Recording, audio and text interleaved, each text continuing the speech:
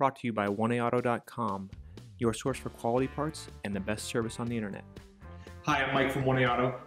I hope this how-to video helps you out. And next time you need parts for your vehicle, think of 1AAuto.com. Thanks. In this video, we're going to be working with our 2001 Ford Ranger 4.0 liter V6 four-wheel drive. We're going to be showing you how to replace the front brake pads and rotors. We happen to do this on the passenger side, but the driver's side is done the exact same way, and you do always want to replace these as a pair. If you like this information, please click subscribe. We have a ton more videos on this truck as well as many other makes and models. And if you want these parts for your vehicle, follow the link in the description. They're available from 1AAuto.com. Here are the items you'll need for this repair.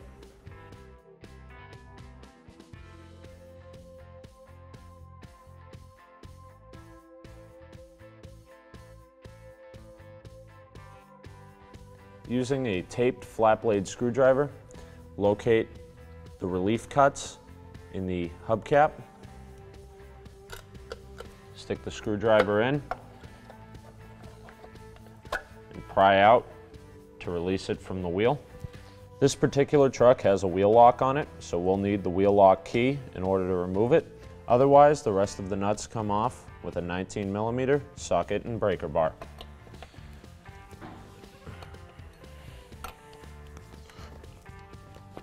Simply crack them loose for now.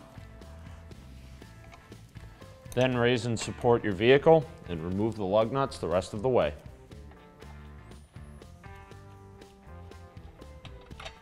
Remove the wheel from the vehicle. Remove the two 13 millimeter bolts securing the brake caliper onto the slides in the caliper bracket. Use a 13 millimeter socket and ratchet.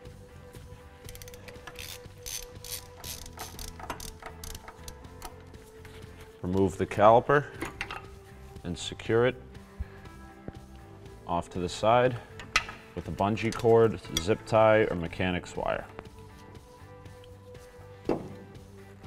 Remove the two caliper bracket bolts with a 15 millimeter socket and ratchet.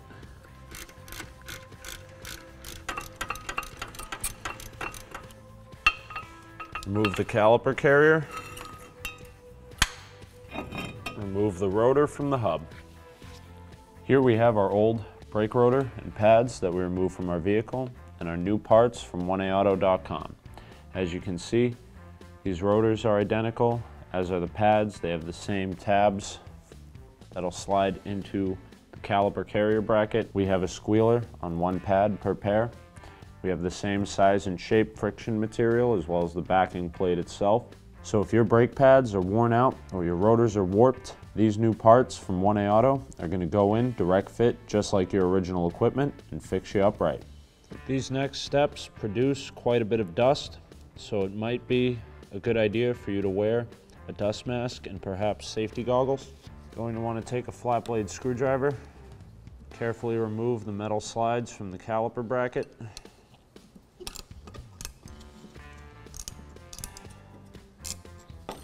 Using a wire brush, remove all the buildup and corrosion from the channels the slides sit in.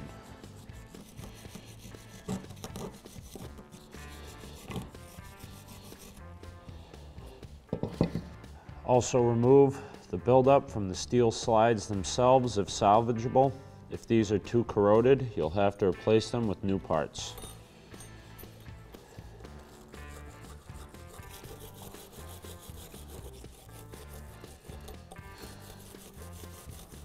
Now that the carrier surfaces are clean, you can install metal slides. Make sure they seat fully in. Remove the brake caliper slides one at a time. These rubber boots got stuck. I'll have to work those off.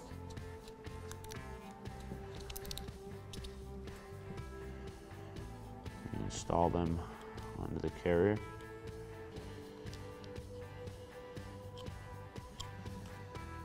Take a clean paper towel and remove all the old brake grease from the pins.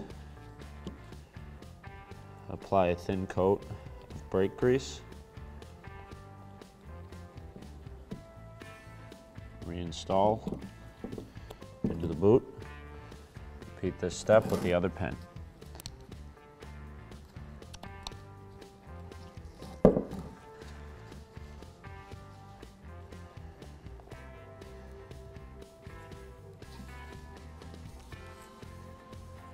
Apply a thin coat of brake grease to the slides as well.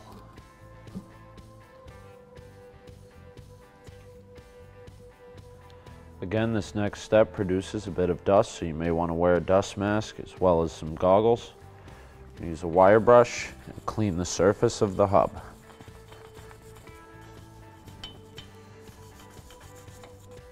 Apply a thin coat of brake grease to the surface of the hub. Using a pair of groove lock pliers, carefully and slowly compress the pistons back into the caliper.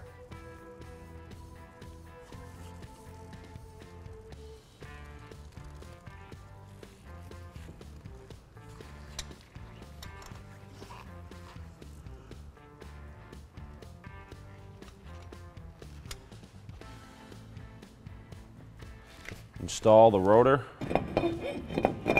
onto the hub backwards. Spray it down with brake cleaner.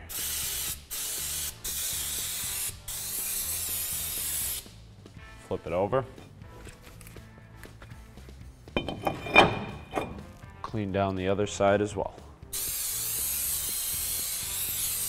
Reinstall the caliper carrier and the two 15 millimeter bolts. Tighten these bolts down with a 15 millimeter socket and ratchet. Torque these bolts to 85 foot-pounds.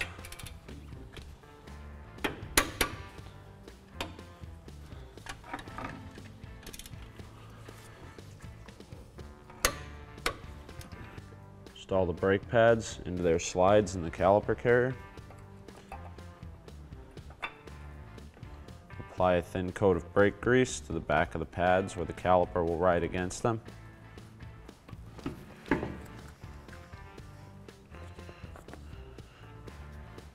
Remove whatever you use to secure the brake caliper.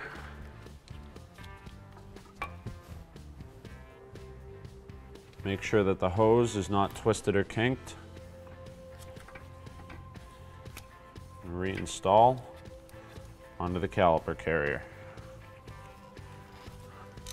Tighten these bolts down with a 13 millimeter socket and ratchet. Torque these bolts to 24 foot-pounds. Reinstall the wheel and tire.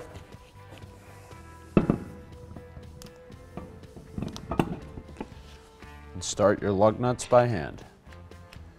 With the weight of your vehicle on the tires, torque the lug nuts to 100 foot-pounds in a cross pattern.